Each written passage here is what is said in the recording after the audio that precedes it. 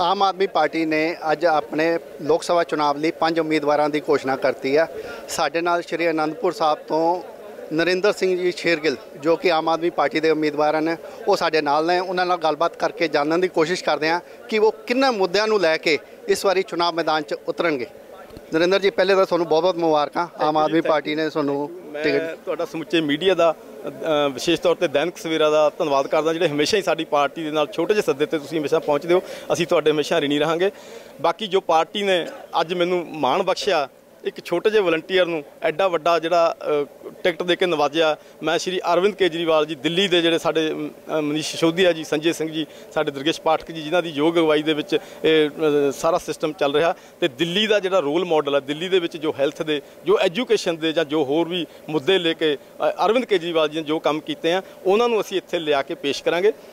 ਪੰਜਾਬ ਦੇ ਜਿਹੜੇ ਲੋਕਲ ਮੁੱਦੇ ਆ, ਨਸ਼ਿਆਂ ਦੇ ਖਿਲਾਫ, ਕਿਸਾਨੀ ਖੁਦਕਸ਼ੀਆਂ, ਬੇਰੁਜ਼ਗਾਰੀ, ਉਹ ਲੋਕਲ ਲੈਵਲ ਦੇ ਮੁੱਦੇ ਇੱਥੋਂ ਦੇ ਵੀ ਚੁੱਕਾਂਗੇ ਅਸੀਂ ਨਾਲ। ਇਸ ਚੀਜ਼ ਨੂੰ ਗਰੁੱਪ ਦੇ ਰੂਪ ਵਿੱਚ ਅਸੀਂ ਇੱਕ ਜਨਤਾ ਦੀ ਕਚਹਿਰੀ ਦੇ ਵਿੱਚ ਪੇਸ਼ ਕਰਾਂਗੇ। ਬਾਕੀ ਤੁਸੀਂ ਅਕਾਲੀ ਦਲ ਦਾ ਹਾਲ ਦੇਖ ਲਿਆ।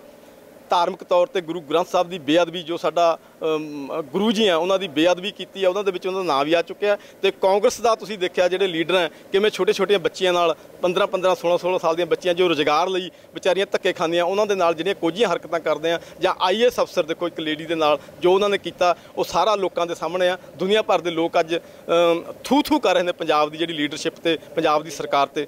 ਤੇ ਉਸ ਚੀਜ਼, ਸਾਰੀਆਂ ਚੀਜ਼ਾਂ ਦਾ ਜਿਹੜਾ ਅਸੀਂ ਫਾਇਦਾ ਲਵਾਂਗੇ ਤੇ ਲੋਕਾਂ ਦੀ ਕਚਹਿਰੀ ਦੇ ਵਿੱਚ ਉਹਨਾਂ ਨੂੰ ਲੈ ਕੇ ਜਾਵਾਂਗੇ। ਸ਼ੇਰਗਿੱਲ ਜੀ ਤੁਹਾਨੂੰ ਨਹੀਂ ਲੱਗਦਾ ਵੀ ਜਿਸ ਟਾਈਮ ਤੁਸੀਂ ਐਮਐਲਏ ਦੇ ਚੁਣਾਵ ਲੜੇ ਤੇ ਤੁਸੀਂ ਹਾਰ ਗਏ ਹੁਣ ਤੁਸੀਂ ਲੋਕ ਸਭਾ ਦੇ ਚੁਣਾਵ ਲੜਨ ਜਾ ਰਹੇ ਹੋ ਕਿ ਉਸ 'ਚ ਉਹ ਵੱਡੇ ਚੁਣਾਵ ਮੰਨੇ ਜਾਂਦੇ ਆ ਉਹ 'ਚ 8-9 ਐਮਐਲਏ ਦੀ ਜਿਹੜੀ ਹੈ ਏਰੀਆ ਉਹ ਸ਼ਾਮਿਲ ਹੋ ਜਾਂਦਾ ਕੀ ਲੱਗਦਾ ਤੁਹਾਡਾ ਕੀ ਪੋਜੀਸ਼ਨ ਰਹੇਗੀ ਪੋਜੀਸ਼ਨ ਤਾਂ ਭਾਜੀ ਸਾ- ਅਸੀਂ ਨਿੱਜੀ ਤੌਰ ਤੇ ਤਾਂ ਅਸੀਂ ਕੁਝ ਵੀ ਨਹੀਂ ਜੋ ਹੈ ਸਾਡਾ ਪਾਰਟੀ ਦੇ ਕਰਕੇ ਅਸੀਂ ਪਰ ਫਿਰ ਵੀ ਖਰੜ ਹਲਕੇ 'ਚ ਮੇਰਾ ਪਿੰਡ ਹੈ, ਮੋਹਾਲੀ ਮੈਂ ਇਲੈਕਸ਼ਨ ਲੜਿਆ ਗਵਰਨਮੈਂਟ ਕਾਲਜ ਰੋਪੜ ਮੈਂ ਪੜ੍ਹਿਆ, ਚਮਕੌਰ ਸਾਹਿਬ ਹਲਕੇ 'ਚ ਸਾਡੇ ਫਾਰਮ ਹੈ ਤੇ ਸਾਡਾ ਕਾਫੀ ਨਿੱਜੀ ਜਿਹੜਾ ਜਾਣ ਪਛਾਣ ਜਿਹੜਾ ਸਾਡੀ ਮਤਲਬ ਬਾਕੀ ਬੇਸਿਕ ਮੇਨ ਤਾਂ ਪਾਰਟੀ ਦਾ ਹੀ ਹੁੰਦਾ, ਪਰ ਸਾਨੂੰ ਲੱਗਦਾ ਵੀ ਅਸੀਂ ਪੂਰੀ ਜਿਹੜੀ ਫਾਈਟ ਹੈ, ਇਹਨਾਂ ਦੀਆਂ ਜਿਹੜੀਆਂ ਨੀਤੀਆਂ, ਉਹ ਤਾਂ ਲੋਕਾਂ ਦੇ ਨਕਾਰ ਚੁੱਕੇ ਆ, ਉਸ ਚੀਜ਼ ਦਾ ਸਾਰਾ ਜਿਹੜਾ ਸਾਨੂੰ ਬੈਨੀਫਿਟ ਆ, ਸਾਨੂੰ ਮਿਲੇਗਾ ਤੁਹਾਡੇ, ਜਿਹੜੇ ਤੁਹਾਡੇ ਨਾਲ ਲੱਗਦਾ ਜਿਹੜਾ ਹਲਕਾ ਹੈਗਾ, ਉੱਥੋਂ ਜੋ ਕੰਵਰ ਸੰਧੂ ਜੀ ਆ ਉਹ ਵਿਧਾਇਕ ਨੇ ਤੁਹਾਡੀ ਪਾਰਟੀ ਦੇ ਨੇ ਪਰ ਇਸ ਟਾਈਮ ਉਹ ਨਾਰਾਜ਼ ਆ ਉਹ ਦੂਜੇ ਗੁੱਟ ਵੱਲ ਚੱਲ ਰਹੇ ਨੇ ਉਹ ਤੁਹਾਡਾ ਕੀ ਸਾਥ ਦੇਣਗੇ?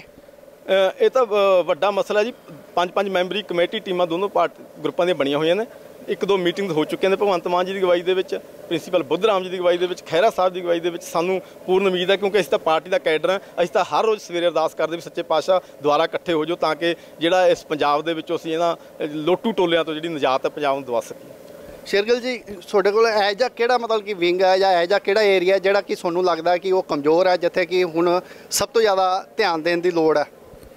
ਮੈਂ ਤਾਂ ਜੀ ਸਭ ਤੋਂ ਪਹਿਲਾਂ ਤਾਂ ਮੈਂ ਆਪਣੇ ਹਲਕਾ ਕਹੂੰਗਾ ਕਿਉਂਕਿ ਸਾਡੇ ਨਾਲੋਂ ਵੱਧ ਜਿੰਨੇ ਵੀ ਬਾਕੀ ਹਲਕੇ ਸਭ ਤੋਂ ਸਭ ਤੋਂ ਜ਼ਿਆਦਾ ਵਧੀਆ ਮਿਹਨਤੀ ਵਲੰਟੀਅਰ ਹੈ, ਸਭ ਤੋਂ ਵਧੀਆ ਕੰਮ ਕਰਦੇ ਨੇ।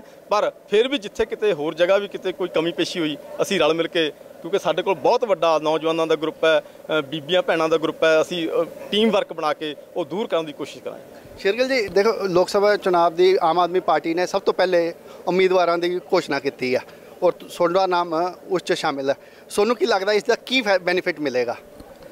ਦੇਖੋ ਜੀ ਸਾਨੂੰ ਸਮਾਂ ਮਿਲ ਜਾਣਾ ਖੁੱਲਾ ਸਾਡੇ ਜਿਹੜੇ ਦਿੱਲੀ ਅਰਵਿੰਦ ਕੇਜਰੀਵਾਲ ਜੀ ਦੇ ਜਿਹੜੇ ਨੀਤੀਆਂ, ਉਹਨਾਂ ਨੂੰ ਲੋਕਾਂ ਦੀ ਕਚਹਿਰੀ ਵਿੱਚ ਲਿਜਾਣ ਦਾ ਸਾਨੂੰ ਪੂਰਾ ਟਾਈਮ ਮਿਲ ਜਾਣਾ ਤਾਂ ਕਿ ਅਸੀਂ ਲੋਕਾਂ ਦੇ ਅੱਗੇ ਪ੍ਰੈਜ਼ੈਂਟ ਕਰਾਂਗੇ, ਉਹਨਾਂ ਨੂੰ ਉਸ ਚੀਜ਼ਾਂ ਦੇ ਨਾਲ ਜਿਹੜਾ ਲੋਕਾਂ ਤੇ ਅਸਰ ਪਏਗਾ ਤੇ ਉਸ ਚੀਜ਼ ਦਾ ਸਾਨੂੰ ਭਲਾ ਇੱਕ ਬੈਨੀਫਿਟ ਜ਼ਰੂਰ ਸਾਨੂੰ ਲੱਗਦਾ ਮਿਲੇਗਾ, ਜਿਹੜਾ ਜ਼ਿਆਦਾ ਟਾਈਮ ਸਾਨੂੰ ਮਿਲਣਾ। ਲੋਕਾਂ ਦੀ ਜਿਹੜੀ ਪਹਿਲੇ ਜਿਹੜੀ ਲੋਕ ਸਭਾ ਦੇ ਚੁਣਾਵ ਸੀ, ਫਿਰ ਵਿਧਾਨ ਸਭਾ ਦੇ ਚੁਣਾਵ ਸੀ, ਜਿ- ਜਿੰਨੀ ਲੋਕਾਂ ਦੀ ਤੁਹਾਡੇ ਨਾਲ ਹਮਦਰਦੀ ਸੀ ਜਾਂ ਲੋਕੀ ਤੁਰ ਰਹੇ ਸੀਗੇ, ਉਨੀ ਉਹ ਥੋੜਾ ਜਿਹਾ ਹੁਣ ਡਾਊਨਫਾਲ ਲੱਗ ਰਿਹਾ। ਤੁਹਾਨੂੰ ਨਹੀਂ ਲੱਗਦਾ ਵੀ ਇਸ ਦਾ ਨੁਕਸਾਨ ਹੋਏਗਾ?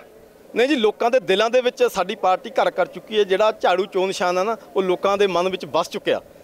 ਅੰਦਰ ਤੋਂ ਲੋਕ ਅੱਜ ਵੀ ਸਾਡੇ ਨਾਲ ਖੜੇ ਨੇ। ਥੋੜਾ ਜਿਹਾ ਜਦੋਂ ਕੋਈ ਸਰਕਾਰਾਂ ਬਣ ਜਾਂਦੀਆਂ ਨੇ ਆਮ ਲੋਕ ਥੋੜਾ ਜਿਹਾ ਉਦੋਂ ਡਰਦੇ ਆ। ਪਰ ਜਦੋਂ ਇਲੈਕਸ਼ਨ ਆਉਣੀ ਹੈ ਤਾਂ ਉਹਨਾਂ ਨੇ ਖੁੱਲ੍ਹ ਕੇ ਮੈਦਾਨ ਦੇ ਜੰਗ ਵਿੱਚ ਆ ਕੇ ਪੂਰਾ ਪਹਿਲਾਂ ਨਾਲੋਂ ਵੀ ਵੱਧ ਵੋਟਾਂ ਸਾਨੂੰ ਪਾਉਣੀਆਂ।